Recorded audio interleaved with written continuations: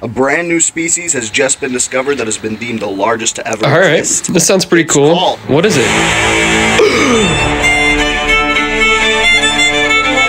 No.